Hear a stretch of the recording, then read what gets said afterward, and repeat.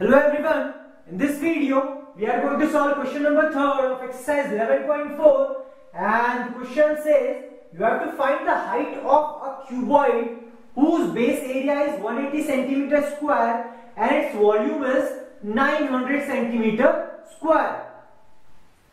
Uh, this is a 3D figure so it's better to imagine it rather than draw on this board.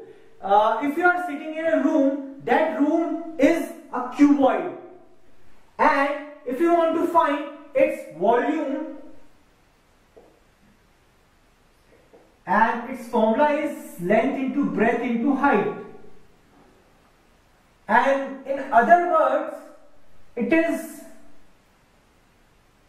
length into breadth. This is basically the area of base.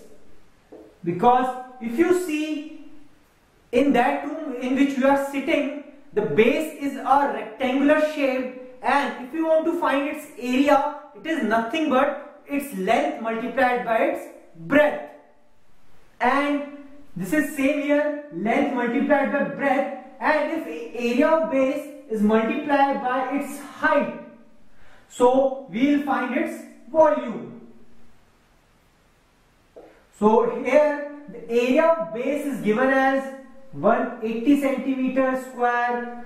Height you have to find and volume is given as 90 centimeter square. So if you want to find height,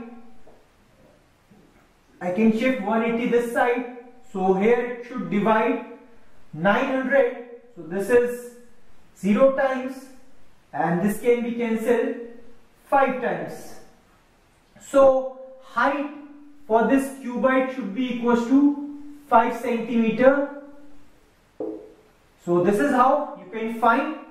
And if you want to know how the volume for cuboid comes or you can say why the formula for volume of a cuboid is area of base into height you can see our videos on fundamental.